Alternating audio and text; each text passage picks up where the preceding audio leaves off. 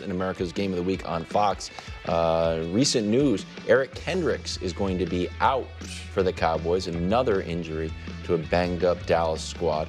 Uh, Lions looking to go into Dallas and make themselves a sandwich, bro. Here's Dak Prescott on how those home games have been going. It would be huge. Um, we've got to get this one at home as well. Uh, no way that we can, you know, what be. Th- can't even say it, but there's no way at home we can drop uh, drop another home game. So um, want the Dallas fans to come in expecting to win, bring everything that they can, all the positive energy and vibes, and we've got to produce. Leaning on vibes now. Uh, Cowboys at home, last three games haven't been great. I added the Packers game in there by 20, more than 21 in all three games. So, Nick, uh, basic question here who you got? So, on the morning call, I was conflicted on it because I do think the Lions are the better team, but the Cowboys are at home. And I know that this year that hasn't meant anything, but historically it mm-hmm. does. And the Cowboys' front seven being so banged up against a team coming off a bye that wants to run the ball is kind of the worst part of your team to be so banged up. But Brou was such a blowhard an hour ago about the Cowboys. oh, I think during, during so, the call he was no. The uh, I mean it was it was you so fired up. I mean he was too. even on the call. We re, again America out there. You were like you I have, don't want to do this. We all have the Cowboys. Yeah, I mean he was like it was. I mean listen guys, if you have a podcast right. or or cup and a string and you want to send it to Brou's house so he can get some of this energy out at night, we would all appreciate it. But I just feel like the Cowboys are going to give Brou his comeuppance.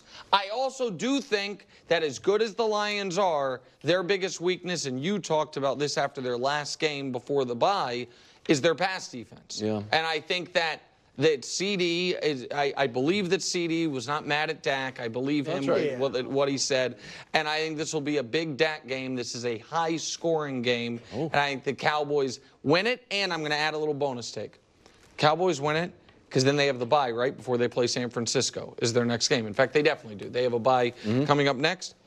I think if the Cowboys win this game, Jerry could try to insert himself into the uh, Davante Adams sweepstakes. Oh, that's interesting. Really? Yeah, because that's going to be their only way to win is to be a pass, pass, pass team. Wow. Um, look, I will admit to see the Cowboys who have been so dominant at home the last few seasons, where 16 straight games at home, lose three straight in Dallas, that's hard to see.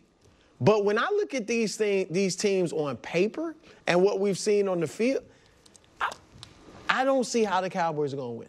I, especially being all banged up. I'd have given them a shot, more than a shot, if they were healthy.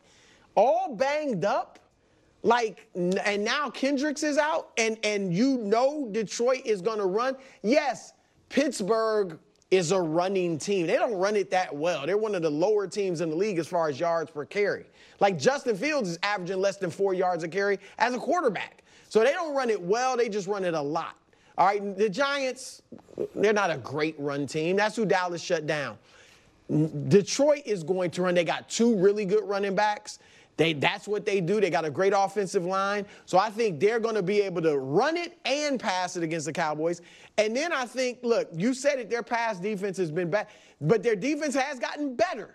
Last year was like 23rd in points allowed. Now it's 10th, I no, believe. their defense has gotten yeah, better. It's their gotten pass better. defense right, but again, when you know, when you have no fear of the run game, you have no fear of doubt. Zeke's complaining about his role. He doesn't know what it We're is. Saving him yeah. for the playoff run. No, oh, okay. so they have no fear of the uh, of the run. They're going to be at a rush. We know Aidan Hutchinson. He's going to get to Dak some. And we look, Dak will throw it to the opponent. We know that. Dak didn't play well in that last game. No. He just made a great play at the end to win it. So I, I, just don't see how in the world the Cowboys, this banged up, are going to beat Detroit. Yeah, I like the Lions, and we talk a lot about their running game, and we know what they are. But when you think about what the Cowboys could possibly do to rattle the Lions, and they have a great offensive line, is kind of apply some pressure where you don't have those guys to get after Jared Goff, and then you have a guy that in Jameson Williams that's getting behind every secondary that they play against. You got a guy that can take away or insert himself in the middle of the field and everywhere, and Amon-Ra St. Brown. Like there are so many. Sam LaPorta hasn't even really truly come to the party yet. There's so many ways that this Lions team can really pick this Dallas defense apart, and I just think they are going to be too much for the Dallas Cowboys. Quick question for you, Greg. I know who the Lions are. and I think the Lions want this game. And Aidan Hutchinson talked about how we're on a mission this year. Any chance that Cowboys are just a soft team? That in their building they fall behind by 21. They kind of you can feel sort of like even through the television. I haven't been to Dallas. They feel a little bit nervous. Well, I'm not going to even call them a soft team. I just think that the Cowboys are a front running team. If they get out on top of you, they feel good, and it's like, here we go. by 20, more than 21 in all three games. So Nick, uh, basic question here: Who you got? So on the morning call, I was conflicted on it because I do think the Lions are the better team, but the Cowboys are at home, and I know that th- this year that hasn't meant anything, but historically it does. And the Cowboys' front seven being so banged up against a team coming off a bye that wants to run the ball is kind of the worst part of your team to be so banged up.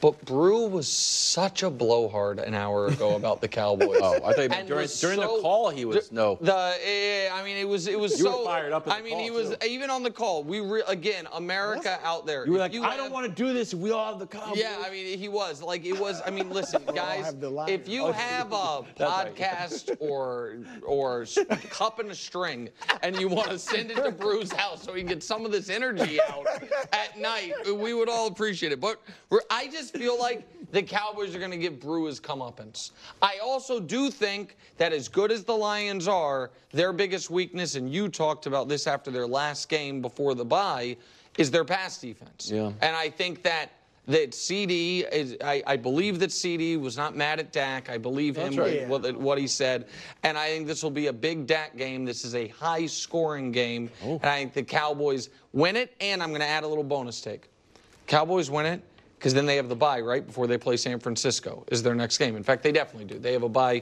coming up next. I think.